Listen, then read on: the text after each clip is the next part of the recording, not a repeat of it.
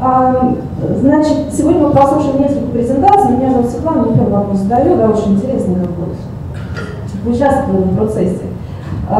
Несколько презентаций. Если у вас есть идеи, то технология поиска инвесторов, да, начиная с того, что кто это, там, ангелы, фонды и так далее, и так далее, как им презентовать, как еще что-то. И вот я слышу вашу точку зрения. Да? А, есть масса людей а, с деньгами, и непонятно, где искать идеи. То есть вопрос, а если у вас такая же подобная технология, где искать идеи, да, как их оценивать, и ремарочка к этому. Я была на Зварыкинском проекте на инновационном смене в этом году, да, вот сегодня ее пиарили очень хорошо.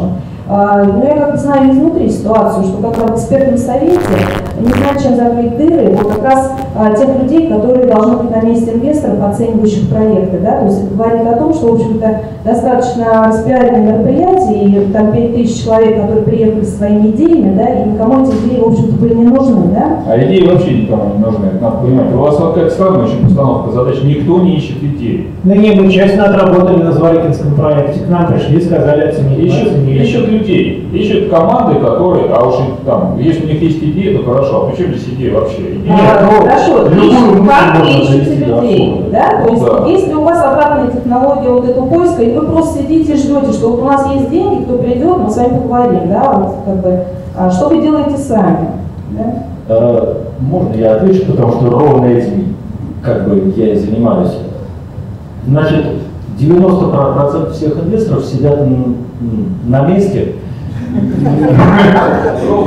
ровно и ждут действительно, как, когда к ним придут. Причем очевидно, что те, кто до них достукиваются, э, ну, они уже определенные, да, то есть они уже опытные, прошлись уже десяток другой инвесторов, уже там получили везде отказ, ну, то есть такой нормальный процесс. Из оставшихся 10%, 8% говорит о том, что хорошо бы вот сейчас вот встать, все бросить и пойти, значит, искать наконец новые проекты. Но ни времени там, ни такого желания у них на это не происходит.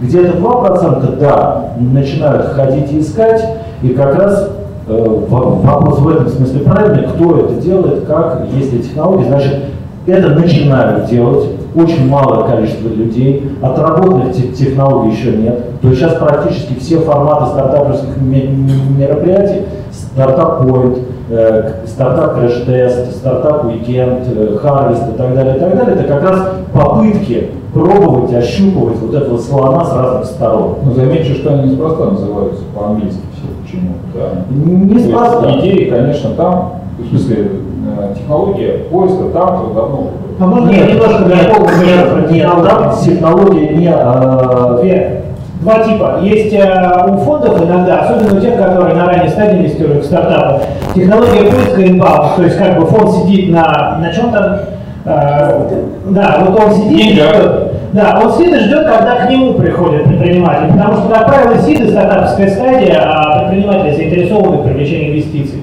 А это на ранней стадии. А фонды, которые инвестируют на стадии роста, и у нас есть разделы на стадии роста, обычно сами бегают за компанией. У них построен механизм outbound, когда сам фонд не сидит в офисе, а сам делает исследования на интернете, выделяет перспективные проекты, начинает им звонить и себя продавать. Потому что если компания находится на стадии роста и быстро растет, то, как правило, деньги ей не нужны. Когда Insight, это наш второй партнер, инвестировал в элиту, у нас на счету было 10 миллионов долларов а, наличными. Мы взяли еще 10 от инсайта, и на момент продажи у нас на счету было 20 миллионов долларов. То есть мы не то, что наши деньги не потратили, мы и инсайтовские тоже не потратили. Поэтому, как правило, фонды, которые, вот, вроде инсайта, он известен тем, что сейчас проинвестировал а, 25 миллионов а, а, в Твиттер, а, такие фонды не сидят, они проактивно построили механизм проактивного поиска проектов. И у нас в фонде, в EVRT, мы как и на inbound канале работаем, и нам присылают заявки. У нас есть ребята, ну, ребята аналитики, которые принимают inbound заявки. А есть outbound аналитики, которые сами сидят, делают исследования, звонят по компаниям, общаются с ними и узнают, как эти компании себя ведут. Леша, может быть, дополнишь какой-то? Конечно, да, добавлю пару слов.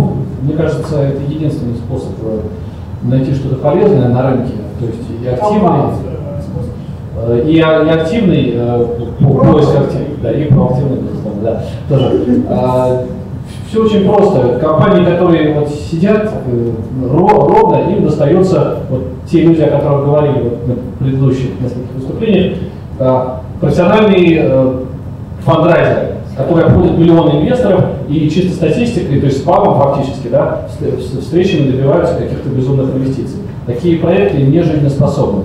И инвестор, который инвестирует таким образом, он очень скоро перестанет это делать совершенно точно. И инвестирование, а, то есть управление фондом, э, это точно такой же бизнес, как и любой другой. Нельзя просто сделать продукт и сидеть ждать, что кто-то придет и, и купит. Фонд ничем не отличается от э, там, торгового да, да, себя продаем. У нас есть рядом все. Да. А, а вот сами контексты рекламы или чем-то другим. У нас есть, с одной стороны, у любого фонда есть сырье, условно говоря, то есть компании. Компании мы должны найти хорошие, дать добавленную стоимость своими компетенциями, управлением, чем-то еще, и от, отнести, продать ее инвесторам, людям, которые хотят разделить с нами финансовые э, риски. Собственно, это и есть точно такой же бизнес, нельзя находить клиентов, не, не делая никакой бизнес. Да, все, все верно. А, Финар, наш фонд, в течение года рассматривает более 400 проектов, представляете? Это больше одного проекта в день. Это и крупные какие-то э, конструкции, и совершенно авантюристичные идеи, бывают безумные, бывают очень интересные. Э, это колоссальный работа, который реализуется э, сравнительно небольшой командой, э, и эта команда находит проекты сами с рынка, любой интересный там какой-то бизнес, который образовался, что-то делает, он привлекает внимание, с ним связывается. И, разумеется, огромный вал идей идет просто к нам через вот такие вот конференции мероприятия коллеги. Я еще добавить поскольку речь идет о технологии, а, это значит э, четкий понятный алгоритм, как кто что делает. А, коллеги совершенно правы, что э, компании, которые находятся на стадии роста интересны всем инвесторам, за ними люди охотятся, им приходится, да, продавать то, что возьмите деньги у нас. А, и э, действительно часто оказывается ситуация в таких проектах, когда ты понимаешь, что в данный момент этот, этот предприниматель рассматривает предложение от нескольких фондов. И там, там понятно, что уже выигрывает тоже тот же самый базар, что и обычно. А то, что касается проектов компаний, которые, ну, надо честно сказать, есть там фонды определенного размера. И определенного размера количества народа, определенного размера э, готовности инвестировать. Э, и за компаниями и проектами, которые меньше этого размера, скорее всего, не будут охотиться специально сами. Но есть, э, э, в общем-то, огромная толпа на сегодняшний день людей. Некоторые из них имели собственные стартапы, искали и стали профессиональными фандрейзерами. А, а некоторые просто на этом строят бизнес. Это интересный тоже бизнес.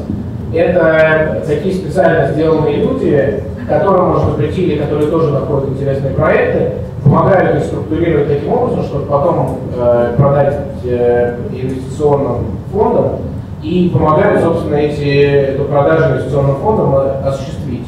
Это еще в частности. В частности, это ты. Не, это, знаешь, э, я, мне легко об этом говорить, я, это не мой бизнес. Не твой. Я сказал, я на другой, я на другой стадии, я сейчас новый проект делаю. Как раз просто я скорее сейчас ближе к стартапу. А, у нас, к сожалению, не так много времени. Ну, короче, заканчивая это завершение темы технологий, потому что про все сказали, про фонд ищет сам сказали, про фонды приходят сами сказали. Кто-то встречается, кто-то аналитики, вот я просто дополнил тем, что есть огромное количество, э, огромное количество людей, которые по сути называются посредниками, но это разные там э, упаковщики. упаковщики которые иногда могут быть сами маленькими инвесторами. Типа, давайте мы тебе дадим сейчас 50 тысяч долларов, ты в ближайшие три месяца протянешь, а мы за это время найдем побольше инвесторов. Тоже, тоже такое бывает. Спасибо большое. У нас через буквально несколько минут начнется челлендж. Да, вот как раз сейчас мы можем увидеть, а, собственно, о каких стартапах идет речь. То есть сейчас будет Russian Startup Challenge, представление ну, подведение итогов конкурса стартапов, на котором будут представлены несколько стартапов, которые показались общественному совету экспертов наиболее интересными. Так что вот сейчас будем начинать это мероприятие. Спасибо.